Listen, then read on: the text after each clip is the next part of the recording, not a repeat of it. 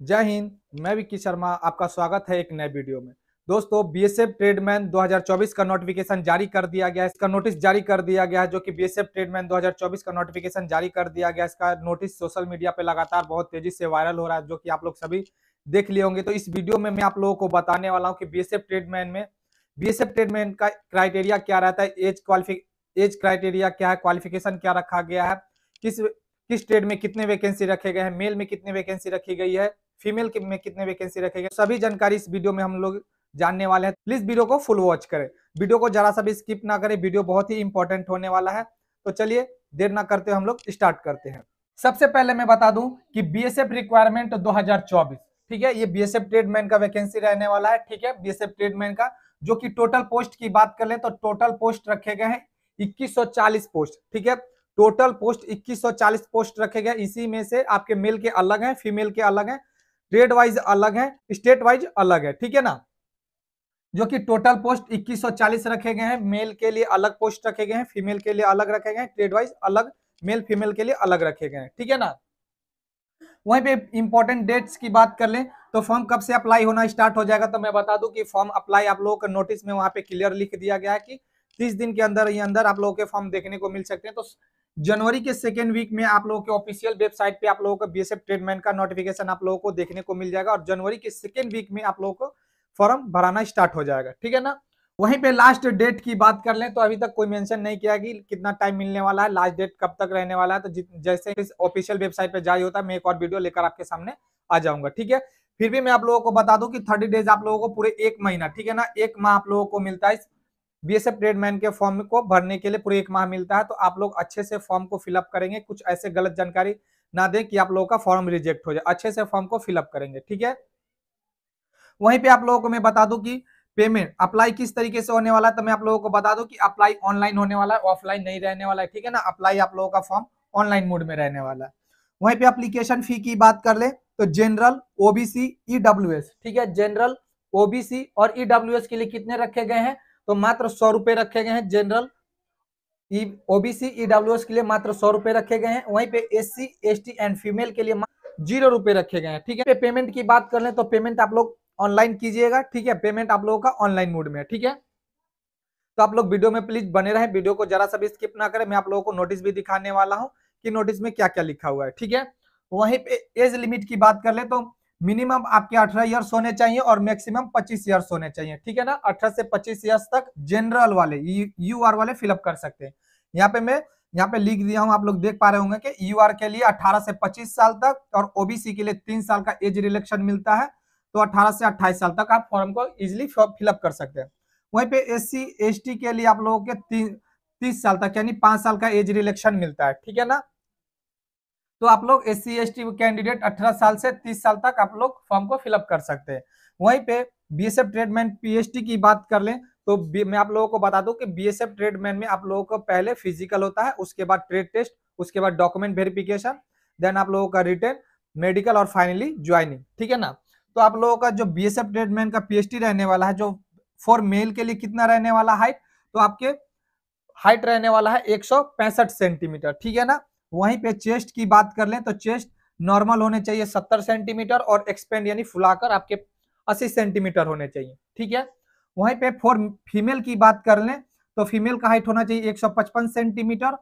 ठीक है? और चेस्ट जो, चेस्ट में आप लोगों को बता दूँ, चेस्ट आप लोगों का नहीं मापा जाता है। ठीक है ना? फीमेल का चेस्ट नहीं मापा जाता है। ठीक है?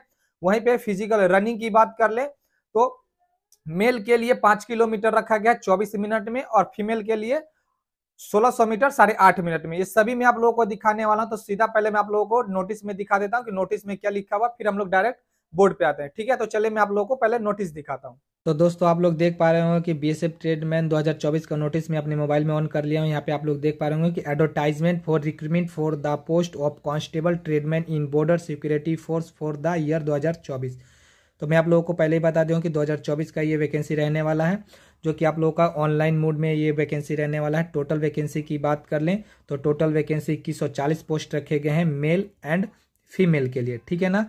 दोनों कैंडिडेट के लिए फॉर्म रखे गए मेल एंड फीमेल के लिए। मेल के लिए मेल के लिए वैकेंसी कितनी रखी गई है? टोटल तो सत्रह वैकेंसी रखी गई है मेल के लिए अदर और वहीं पे फीमेल के लिए 417 वैकेंसी रखी गई है। ठीक है ना? तो मैं आप लोगों को बता दूँ कि आप लोग, लोगों का जो पे लेवल रहने वाला पे लेवल थ्री का रहने वाला जो कि इक्कीस हज़ार सात सौ से उनहत्तर हज़ार सौ रुपये तक रहने वाला है। वहीं पे अदर अलाउंस लेकर आप लोगों के थर्टी फाइव थाउज़ेंड प्लस आप लोगों के, आप लोगों के रहने वाले। तो अच्छा तो ये आप लोगों के लिए बहुत ही अच्छा सुनहरा मौका है बीएसएफ ट्रेडमैन में। ठीक है? तो चलिए हम लोग नेक्स्ट पॉइंट देख लेते हैं। तो आप लोग यहाँ पे देख पा रहे होंगे कि फ़र्स्ट पॉइंट क्या लिखा हुआ है कि vacancy are subject to change में इंक्रीज और डिक्रीज। तो मैं आप लोगों को बता दूँ कि टोटल पोस्ट 2140 रखे गए हैं। ये वैकेंसी बढ़ भी सकती है और ये वैकेंसी घट भी सकती है। ठीक है ना? तो जैसे ही ऑफिशियल वेबसाइट पे आ जाता है, मैं आप लोगों के लिए एक और वीडियो में लेकर चलाऊँगा। ठीक है? तो आप लोग देख पा रहे होंगे कि थर्ड पॉइंट क्या लिखा हुआ कि last date for acceptance of application will be thirty days यानी आप लोगों को मैं पहले ही बता दिया था। तो यानी यानी कि आप लोगों के ये फॉर्म जो है तीस दिन के अंदर ही अंदर, यानी तीस दिन तक, तीस दिन के अंदर ही आप लोगों को देखने को मिल जाएगा जनवरी।